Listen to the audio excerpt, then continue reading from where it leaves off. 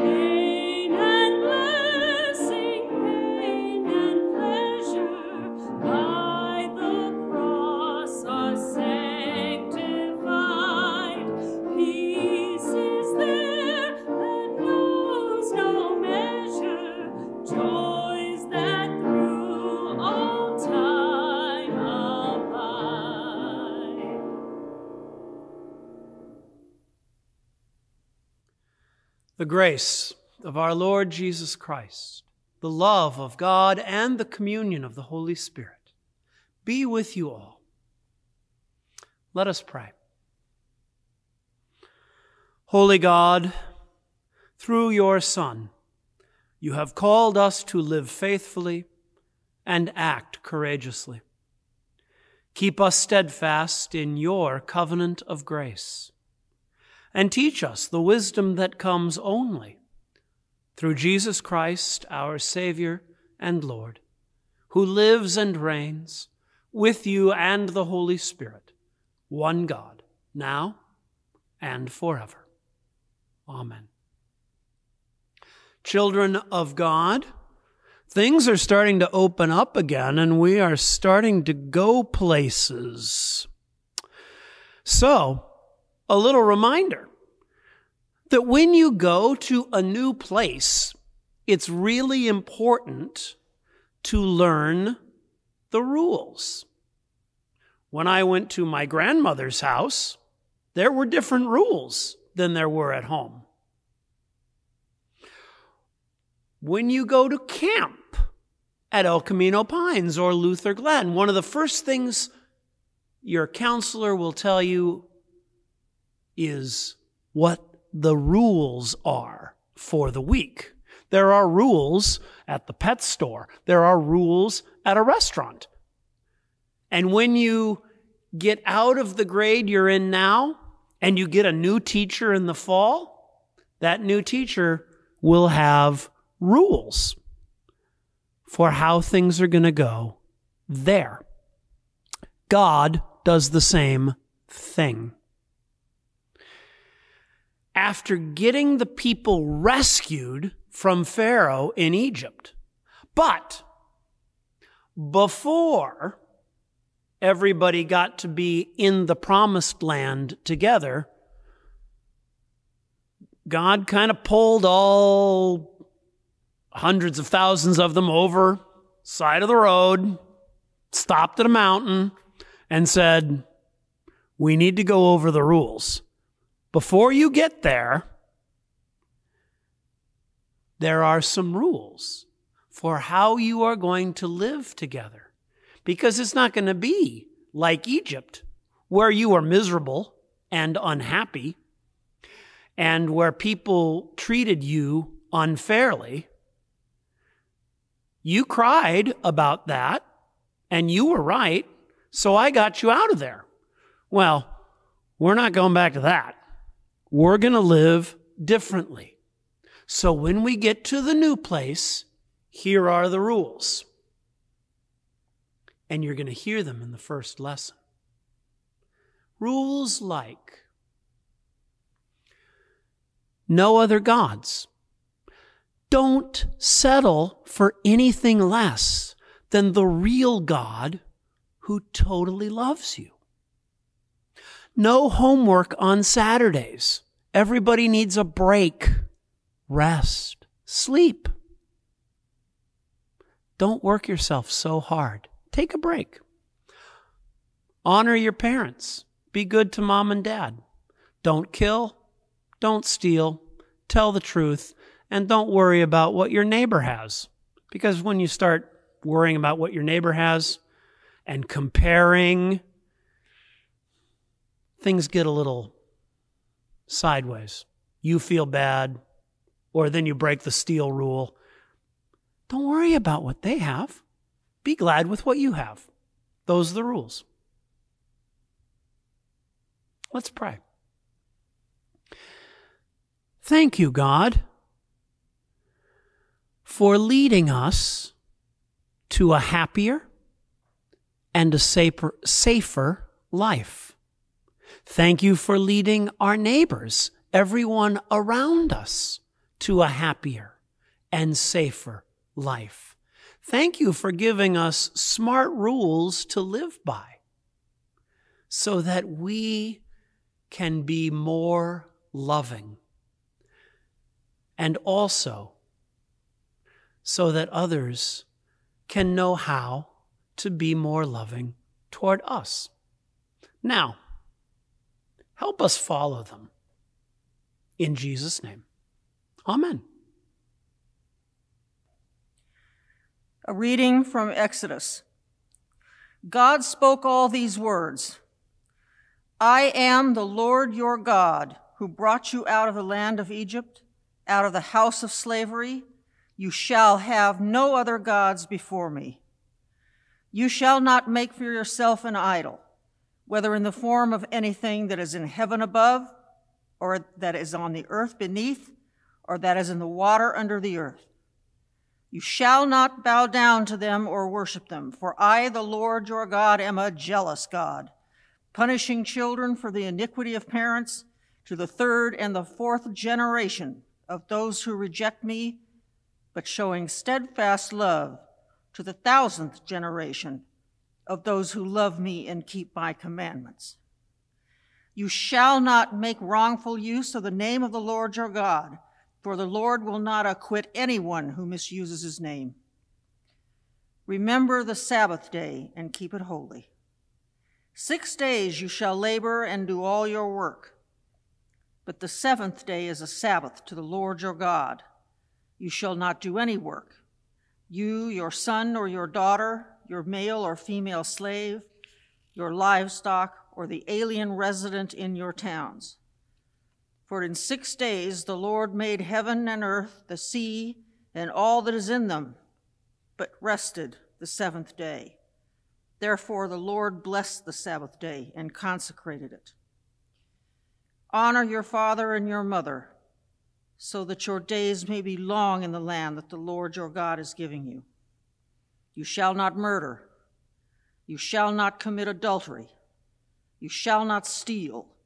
You shall not bear false witness against your neighbor. You shall not covet your neighbor's house. You shall not covet your neighbor's wife, or male or female slave, or ox, or donkey, or anything that belongs to your neighbor. The word of the Lord. A reading from 1 Corinthians. The message about the cross is foolishness to those who are perishing, but to us who are being saved, it is the power of God. For it is written, I will destroy the wisdom of the wise, and the discernment of the discerning I will thwart. Where is the one who is wise? Where is the scribe? Where is the debater of this age? Has not God made foolish the wisdom of the world? For since in the wisdom of God, the world did not know God through wisdom, God decided, through the foolishness of our proclamation, to save those who believe. For Jews demand signs and Greeks desire wisdom. But we proclaim Christ crucified, a stumbling block to Jews and foolishness to Gentiles. But to those who are the called, both Jews and Greeks, Christ the power of God and the wisdom of God. For God's foolishness is wiser than human wisdom, and God's weakness is stronger than human strength. The word of the Lord. The Holy Gospel, according to John, the second chapter. The Passover of the Jews was near, and Jesus went up to Jerusalem. In the temple, he found people selling cattle sheep, and doves, and the money changers seated at their tables. Making a whip of cords, he drove all of them out of the temple, both the sheep and the cattle. He also poured out the coins of the money changers and overturned their tables. He told those who were selling the doves, Take these things out of here. Stop making my father's house a marketplace. His disciples remembered that it was written, Zeal for your house will consume me. The Jews then said to him, What sign can you show us for doing this? Jesus answered them, Destroy this temple? And in three days I will raise it up. Well, the Jews then said, This temple has been under construction for 46 years, and will you raise it up in three days? But he was speaking of the temple of his body.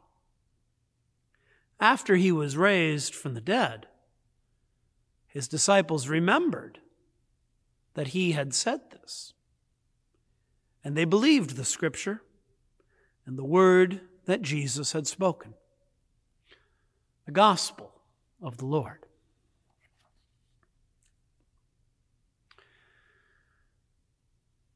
Tiffany France thought her son would receive his diploma this coming June, reports Chris Papst for Fox News, Baltimore.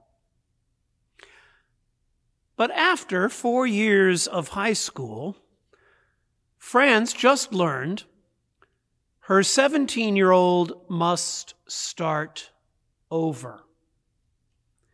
He's been moved back to the ninth grade. In four years, he passed three of his 25 classes. His 0.13 grade point average ranks 62nd in his class of 120, middle of the pack. France says she didn't know that until February. Papst continues. She has three children and works three jobs. She thought her oldest son was doing well because even though he failed most of his classes, he was being promoted. No one from the school told France her son was failing and not going to class. I feel like they never gave my son an opportunity. Like, if there was an issue with him not advancing or not progressing, that they should have contacted me first. Three years ago, said France. He's a good kid. He didn't deserve that. Where's the mentors? Where is the help for him? I hate that this is happening to my child. I get angry. There's nothing but frustration, said a city school's administrator who asked not to be identified for fear of retaliation. His transcript is not unusual to me. I've seen many transcripts, many report cards like this particular student. I don't know what to do for him, France told Project Baltimore.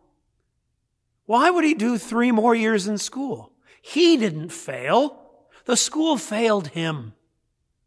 The school failed at their job. They failed. They failed. That's the problem here. They failed. They failed.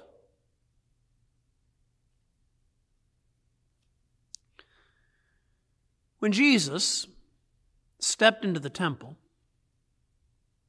he saw a system that was failing people.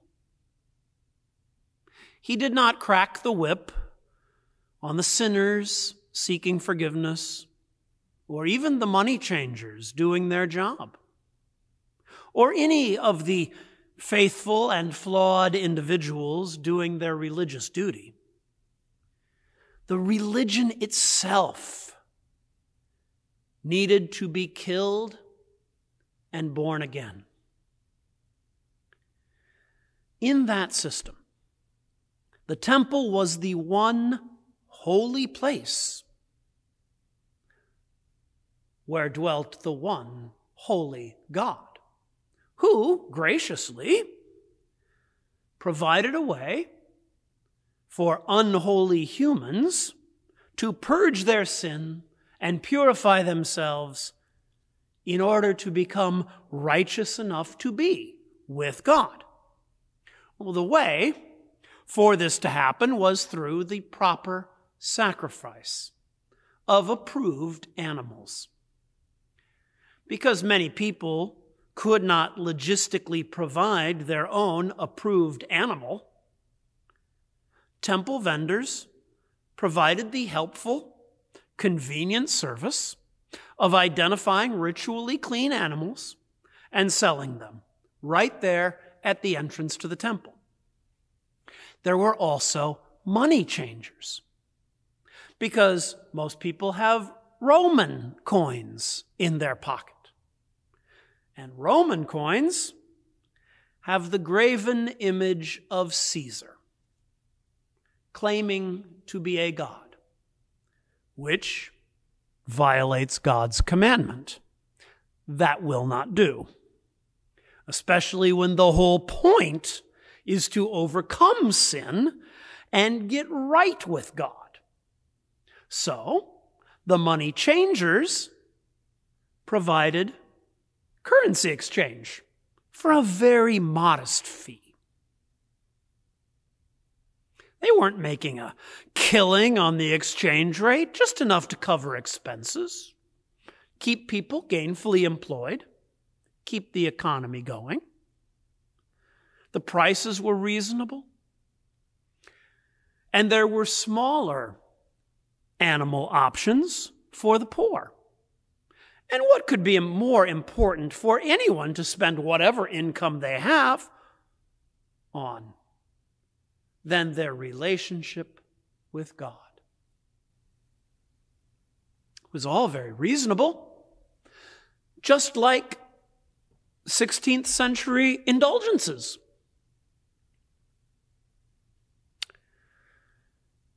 The problem is not that we change money. The problem is that money changes us. When God makes a way, humanity sets up a toll booth. The history of religion is littered with one example after another of grace exploited for gain. the goodness of God, haggled, hoarded, guarded, and peddled at a markup. And lest we Lutherans, with our insistence on grace as God's free gift, become smug about ourselves. Remember that the young man who shot up the church in Charleston went to an ELCA Sunday school. Remember that the BTK killer was the president of his ELCA congregation. Our system failed them and their victims. There is blood on our hands too.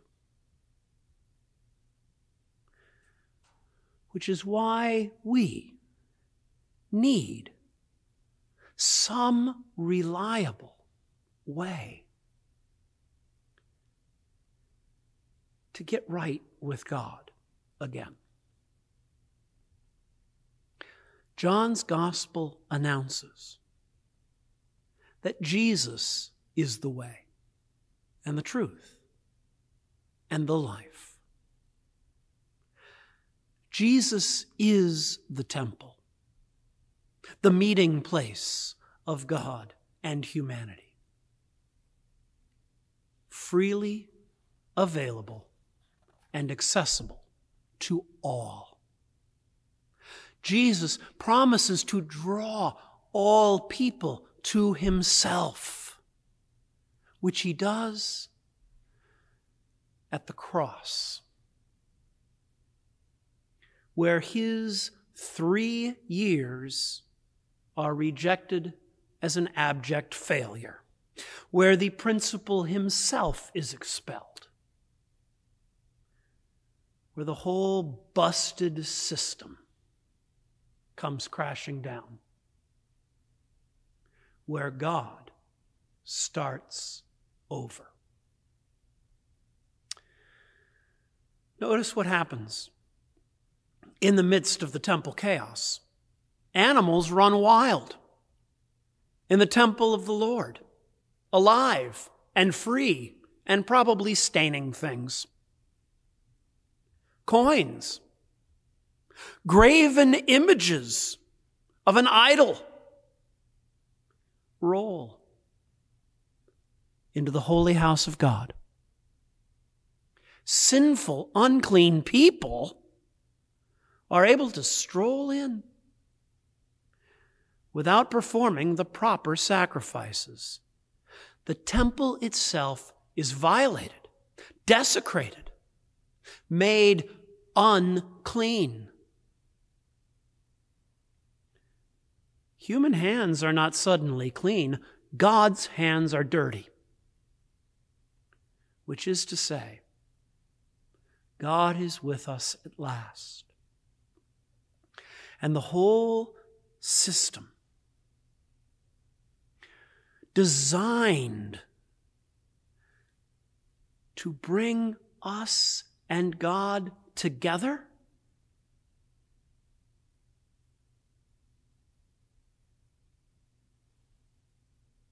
is discarded in order to bring God and us together.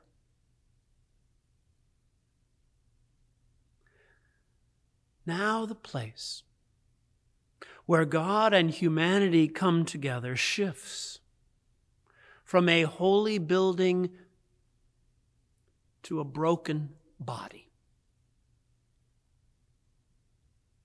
In his book, the Heart of Christianity, Marcus Borg explains. According to temple theology, certain kinds of sins and impurities could be dealt with only through sacrifice in the temple.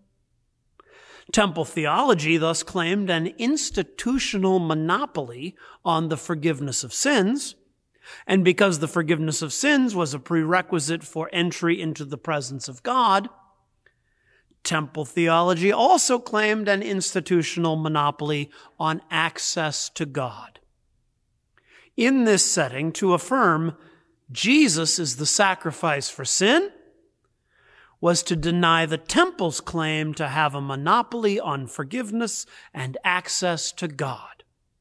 It subverted the sacrificial system.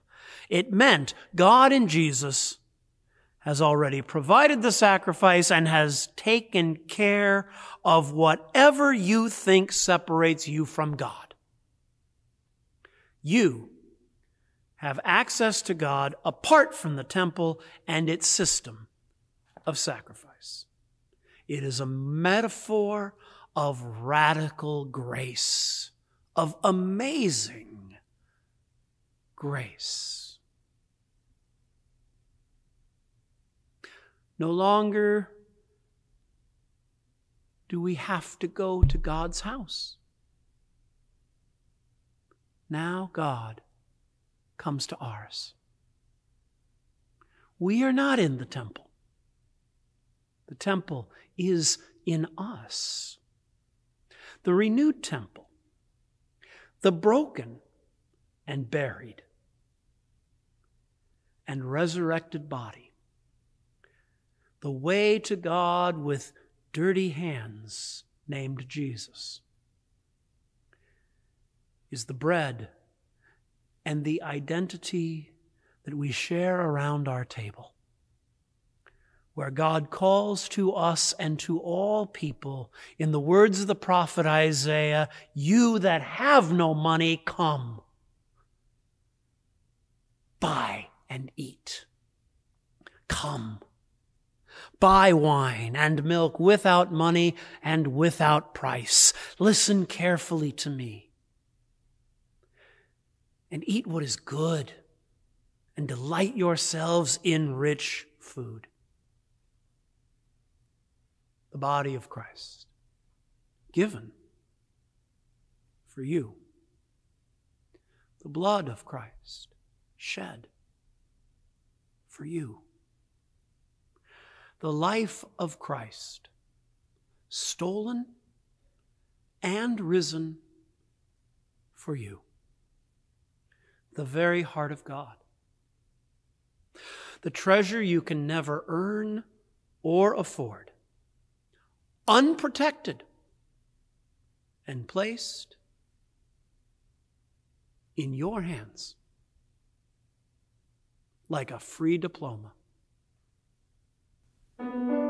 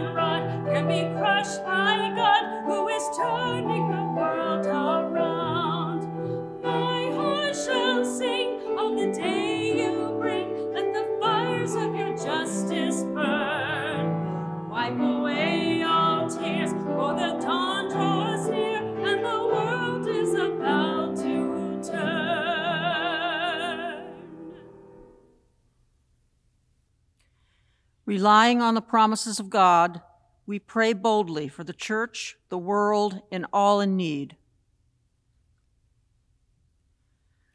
There is no God before you. Purify the faith of your church, that your people place their trust in nothing beside you. Your name is holy. Guide your church that in every situation your people's words and actions honor your name. Hear us, O God. The heavens declare your glory. Renew your creation. Provide leaders in the struggle for clean air and water. Protect creatures and crops that rely on heavy, healthy ecosystems. Give all people the willingness to repent when our way of life pollutes the earth and skies. Hear us, O God. Your foolishness is wiser than human wisdom. Fill leaders with the foolishness of your peace and mercy. Your law defends the vulnerable. Work through legislators, judicial systems, and systems of law enforcement to protect the well being and freedom of all. Hear us, O God. Your weakness is stronger than human strength. Protect those who are vulnerable and give courage to all who are suffering especially with coronavirus, financial hardship, extended trauma, and pandemic fatigue. Defend victims of crime and bring redemption to those who have harmed others. Give Sabbath rest to all who labor. Hear us, O God. You call us to proclaim Christ crucified. Give clarity to this congregation and our leaders so that we might follow Christ beyond our own habits and comfort. Clear out anything in our common life that would obscure the gospel or that serves our own interests. Hear us, O God. The cross of Christ is your power for all who are being saved. Thank you for Perpetua, Felicity, and all the martyrs whose witness reveals the power of the cross. Give us the same trust in life and in death. Hear us, O God. We entrust ourselves and all our prayers to you, O faithful God, through Jesus Christ our Lord. Amen. Once again, this Sunday, as this time of loving isolation continues for a few more weeks. We are treating our entire congregation as homebound members.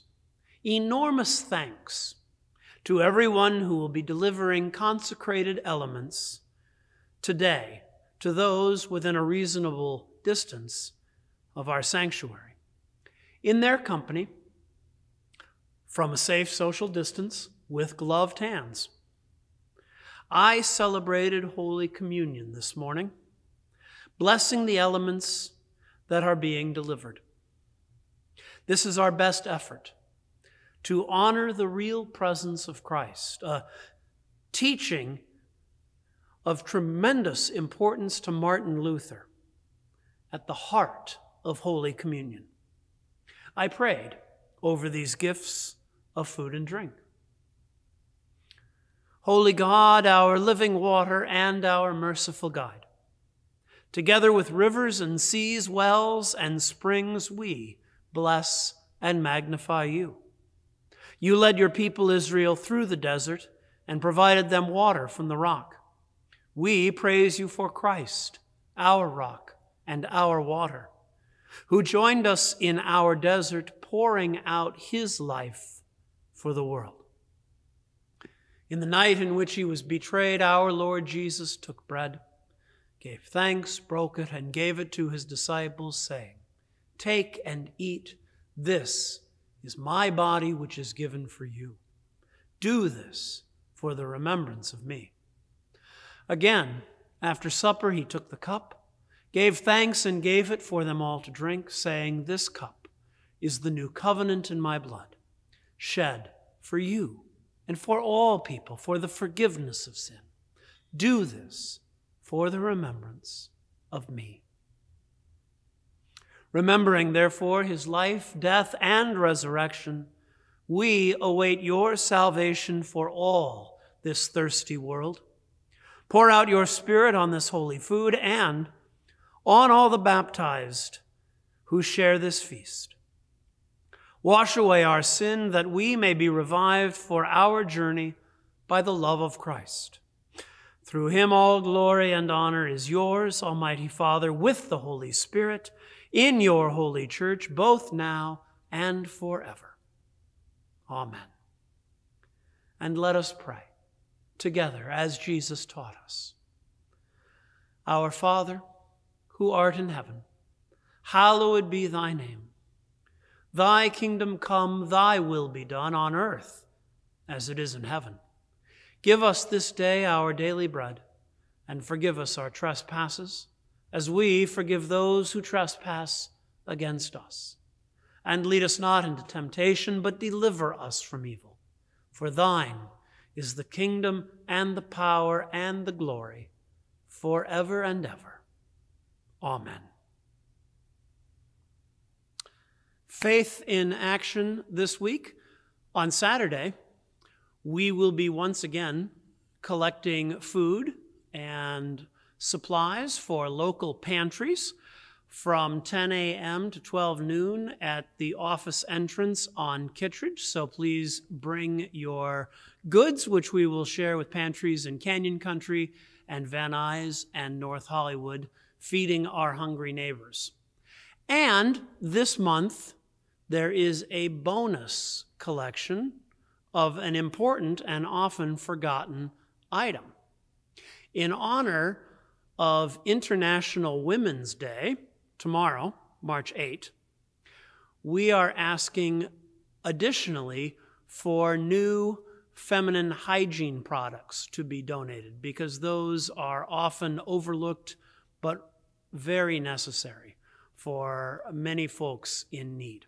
So if you can bring those along with our regular uh, offerings of food, we will be most grateful and able to help our neighbors in need.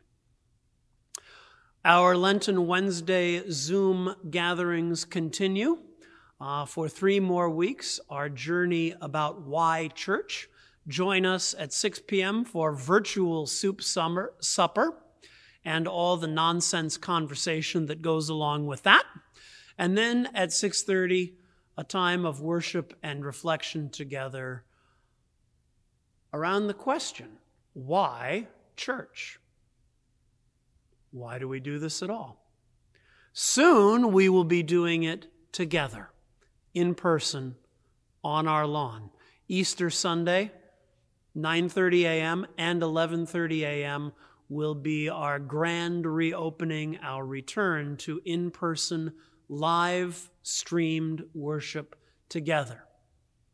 Please, please I'm begging you now, please.